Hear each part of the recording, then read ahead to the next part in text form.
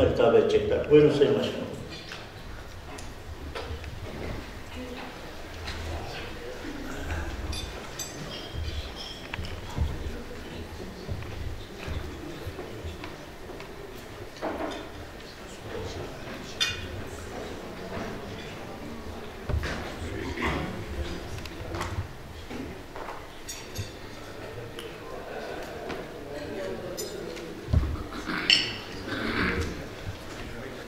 Türkiye Muhasebe Uzmanları Derneği'nin çok değerli başkanı,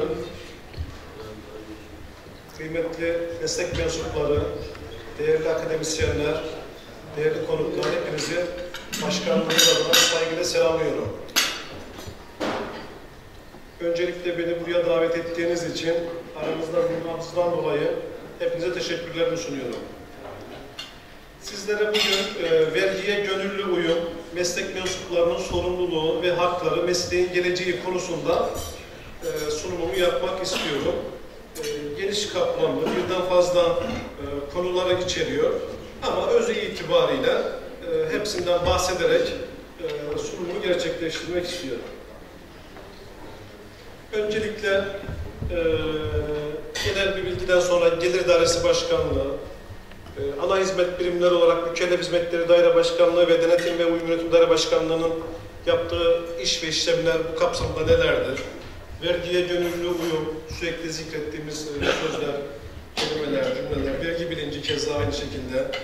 Bunlardan ne kastediyoruz? Bunlar e, nedir? Meslek mensuplarının sorumlulukları, meslek mensuplarının hakları, mesleğin geleceği gibi aslında hepsi bir belli başlı başına bir panel veya sempozyum olacak konular hakkında sizlere bir şeyler söylemek istiyorum. Değerli arkadaşlar, değerli katılımcılar, hepinizin bildiği gibi Gelirler Genel Müdürlüğü 5345 sayılı Gelir Dairesi Başkanlığı'nın kurulması ile birlikte e, bilgi olmuştu. Maliye Bakanlığı'na bağlı Gelir Dairesi Başkanlığı e, kurulmuştur. Gelir Dairesi Başkanlığı'nın e, vergiye gönüllü uyum, vergi bilinci anlamında e, kanundaki amacı onları bir göz attığımızda mükelleflerin vergiye gönüllü uyumunu sağlamak, mükellef haklarını gözeterek yüksek kalitede hizmet sunmak, yükümlülüklerin kolayca yerine getirilmesi için gerekli tedbirleri almak olarak karşımıza çıkıyor. Bu anlamda görevleri nelerdir? Yine mükelleflerin vergi uyumunu kolaylaştırmak ve hizmetlerini yerine getirmek, mükellef haklarının korunması ve mükellef ile başkanlık ilişkilerinin karşılıklı güven esasına dayanması konusunda gerekli tedbirleri almak, mükellefleri vergi mevzuatından doğan haklara ve ödevleri konusunda sizleri bilgilendirmek, vatandaşlarımızı, mükellefleri bilgilendirmek olarak görevlerimiz bulunuyor. Evet, Gelir Dairesi Başkanlığı niçin var? Gelir Dairesi Başkanlığı'nın e, kuruluş amacı nedir? Birincisi değerli arkadaşlar, Gelir Dairesi'nin kuruluş amacı mükellef haklarını gözeterek vergide gönüllü uyumu artırmak, kaliteli hizmet sunarak vergi ve diğer gelirleri toplamak olarak misyonumuz bulunuyor. Varoluş amacımız bizim bunlar. Peki bu misyon kapsamında vizyonumuz nelerdir? Neyi amaçlıyoruz? Ekonomik aktiviteleri kavrayarak kayıtlı ekonomiyi teşvik eden, mükellef haklarını gözeterek gönüllü uyumu sağlayan ve kaliteli hizmet sunarak vergi ve diğer gelirleri toplayan örnek bir idare olmak. Temel değerlerimiz de bunlar. Elimizden geldiğince tabii bunlara e, geliştirmeye çalışıyoruz, uzunmaya çalışıyoruz. Adalet, çözüm odaklılık, esneklik, etkinlik, güvenilirlik, katılımcılık, saydamlık, sorumluluk bilinci, sürekli gelişim, tarafsızlık, verimlilik ve etkinlik olarak karşımıza çıkıyor. Evet, Mükellef Hizmetleri Daire Başkanlığı olarak değerli arkadaşlar, vergiye gönüllü uyum ve vergi bilincinin artırılması çalışmaları kapsamında görevlerimiz özellikle şunlar. Mükelleflerin vergi bilincinin artırılması için gelişme çalışmaları yapmak, Mükellef Hizmetleri Daire Başkanlığı'nın ana hizmet birimi olarak en önemli görevleri, mükellefleri vergi mevzuatından doğan hakları ve ödevleri konusunda bilgilendirmek, mükelleflere yönelik hizmetleri her türlü iletişim ve hızlı ve etkin bir şekilde yürütülmesi için gerekli tedbirleri almak, mükellef haklarının korunmasını sağlamak ve buna ilişkin gerekli altyapıyı hazırlamak, mükellef şikayetlerini değerlendirmek ve bu konuda gerekli tedbirleri almak, mükellef memnuniyetini ölçmek ve değerlendirmek, vergi mevzuatının adil uygulanmasını sağlamak için gerekli tedbirleri almak. Ana hizmet birimi olarak mükellef hizmetleri daire başkanlığı bu dediğimiz unsurları hangi müdürlüklerde yerine getiriyor? Değerli arkadaşlar, mükellef hizmetleri daire başkanlığı olarak gelir dairesinde ana hizmet birimi olarak 5 tane müdürlüğümüz mevcut. Bunlardan bir tanesi vergi bilincini geliştirme ve kalite sistemleri müdürlüğü. Biraz sonra detaylı bahsedeceğim. Vergi İletişim Merkezi Müdürlüğü, Toplumsal İletişim Tanıtım Organizasyon Müdürlüğü, Mükellef Hizmetleri Uygulama ve Geliştirme Müdürlüğü ve Vergiye Gönüllü Uyum Müdürlüğü olarak karşımıza çıkıyor.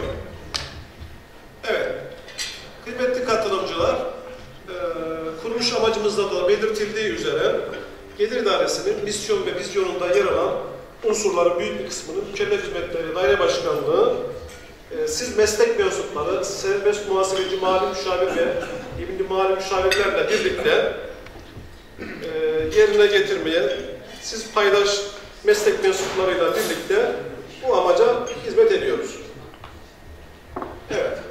Denetim ve uyum yönetimi daire başkanlığımız var değerli arkadaşlar bizim bir de.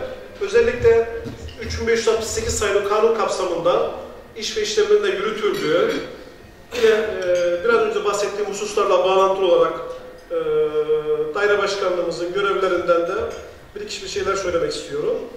Yine bu anlamda uyum bozukluklarını tespit etmek, analiz etmek, çözümler üretmek suretiyle mükelleflerin vergi kanunlarına gönüllü uyumun sağlanması olarak vergiye gönül, gönüllü uyum kapsamında söyleyebiliriz. Yine başkanlığımızın görev alanına giren konularda 3568 sayılı serbest muhasebeci mali müşavirlik ve ünlü mali müşavirlik kanunu kapsamında çalışmalar yapmak, SMM odaları, YMM odaları, TÜRMOP, meslek mensuplarıyla ilgili muhasebe, tek düzey hesap planı ve mali tablo ilişkin çalışmalar yapmak, katkıda bulunmak, muhasebe standartlarına belirlemesi için çalışmalara katılmak ve görüş bildirmek olarak e, karşımıza çıkıyor. Evet. Değerli arkadaşlar, e, mükellef nedir? Biz için varız? Sizler için varsınız bir anlamda. Bizler mükellefler için varız. Hizmet için varız. 213 sayılı vergi kanununda mükellefin tanımı şu şekilde yapılmıştır. Vergi kanunlarına göre kendisine bor, vergi borcu tereddüt eden gerçek veya tüzel kişi mükellef olarak karşımıza çıkıyor. Vergi sorumlusu ise ödenmesi bakımından verginin alacaktır vergi dairesine karşı muhatap olan kişi olarak karşımıza çıkıyor. Örnek vermek gerekirse stopaj yapan, vergi tevkifatı yapmakla sorumlu olanlar bir şekilde karşımıza bu şekilde çıkıyor. Evet. Meslek mensubu olarak 3568 sayılı kanun kapsamında serbest muhasebeci, serbest muhasebeci mali müşavir ve yeminli mali müşavirler olarak mükelleflerle birlikte sizler de idaremizin vergiye gönüllü uyumu, vergi bilincinin yerleştirilmesini sağlamak, vergi denetimlerinde idareye yardımcı olmak, vergi sistemine katkıda bulunmak amacıyla idaremizin en büyük paydaşları olarak bulunuyorsunuz. Mükellef hakları nelerdir? Yükümlülükler nelerdir değerli arkadaşlar? Mükellef hakları dediğimizde mükelleflerin mevzuattan gelen her, tür, her türlü hukuki hakları mükellef hakları olarak karşımıza çıkıyor. Bunlar vergi kanunlarının getirdiği veya mükellefe tanınmış, olduğu, tanınmış olan kazanımlardır. Yükümlülükler de mükelleflerin vergi idaresine karşı yerine getirilmesi gereken özellikle vergi yasalarıyla belirlenen görevler olarak belirlenebilir. Evet. Değerli arkadaşlar, mükellef hakları bildirgesini biz 2006 yılında yayınladık. OECD ülkeleri arasında, içerisinde ilk yayınlayanlardan biri olarak bizim Gelir Dersi Başkanlığı e, karşımıza çıkıyor. Burada da bizim mükelleflere e, birçok taahhütlerimiz var. E, bunlardan bir kısmını size okumak istiyorum, fazla vaktinizi de almadan. Açık, güvenilir, zamanında ve yeterli bilgiyle hizmet vereceğiz. Bilgi edinme hakkı kanunu çerçevesinde öğrenmek istenilen her türlü bilgi için doğru, insanlarla temasa geçirmesi konusunda sizleri mükellefleri yönlendireceğiz. Vergi konusundaki gelişmeleri sürekli güncellenen internet, internet sayfamızda basın yayınlarla sizlere en kısa zamanda duyuracağız. Nitekim özellikle son zamanlarda daha çok dikkatimizi çektiği üzere tebliğler, mevzuat bütün yayınlanmadan, resmi gazetede yayınlanmadan internet ortamında yayınlayıp kamuoyunun, meslek kuruluşlarının, STK'ların görüşlerini bu şekilde alıyoruz. Ücretsiz e-posta sistemiyle eskiden hepimiz işte belli yayın gruplarına abone oluyorduk. E, Şu anda e, e-mail olarak idaremiz bunları e, eksiksiz ve zamanında bir şekilde mevzuatı sizlere e, gönderiyor vergi mevzuatını. E, vergi usul kanunu kapsamında vergi mahremiyeti konusunda e, üzerimize düşen görevleri en etkin şekilde yapacağız. Yükümlülüklerin yerine getirilmesinde mükelleflere her türlü kolaylığı sağlayacağız. E, vergi mevzuatının uygulanmasında adil, hukuksal, tarafsız, rekabeti koruyucu bir şekilde uygulanmasını esas alacağız. Vergi incelemelerinde kanunları doğru, tarafsız bir tutarlı bir şekilde uygulayacağız ve bilgilendireceğiz. Ee, şikayetleri, ihbarları gerçek kimlik ve iletişim bilgileriyle istenilmesi halinde en kısa zamanda sonuçlandıracağız. Ve iyi bir hizmet sunma arayışı içinde olacağız şeklinde mükellef hakları bildirgesini örnek bir idare olarak yayınlamış bulunuyoruz.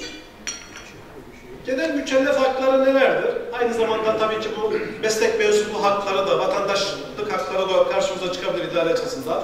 Hepimizin bildiği gibi dilekçe hakkı kanunu var, 3071 sayılı kanun. Genelde bu şekilde biz müracaatlarımızı yapardık işlemlerimizi. Ama bu biraz daha çeşitli. Özellikle 4982 sayılı bilgi edinme hakkı kanunu kapsamında yine bilgi edinme hakkı kanunu kapsamında e, cevaplarımızı e, gönderiyoruz. Cumhurbaşkanlığı İletişim Merkezi biliyorsunuz CİMER vasıtasıyla Başbakanlık İletişim Merkezi BİMER vasıtasıyla her türlü soru, e, merak edilen hususlar kapsamında e, mütalayı gerektirmeyecek cevapları sizlere dönüyoruz. Biliyorsunuz kamu denetçiliği kurulu, kamu denetçisine başvurma hakkı bulunuyor. Burada da Türkiye Büyük Millet Meclisi'ne bağlı olan Kamu Denetçiliği Kurumu idarenin işte işine bağlı şikayetleri inceliyor. Bu vasıtasıyla da sizlere dönüşler yapıyoruz. Yine 2577 sayılı İdari Yargı Usulü Kanunu kapsamında dava açma hakkı bulunuyor. Temsil hakkımız var. Özellikle sizlerin yakından bildiği, ilgilendiği, vergiyle ilgili işlemlerin, mükelleflerin yanı sıra vekil ya da temsilci veya 3568 sayılı kanun kapsamında SMM ve